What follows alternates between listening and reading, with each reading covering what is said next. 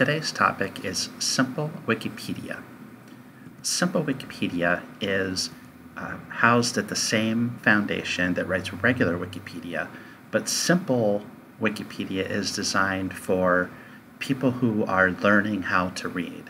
If you compare an article on Simple Wikipedia with the same article on regular Wikipedia, you'll find that the Simple Wikipedia has most of the same information, but it's written at a lower level of uh, reading so that people who are learning how to read will be able to handle the content on the pages.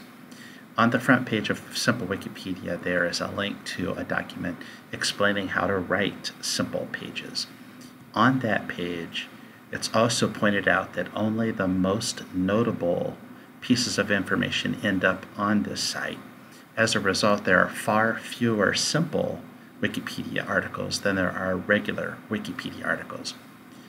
But you'll find all of the relevant people in history are still there, along with all of the most notable places.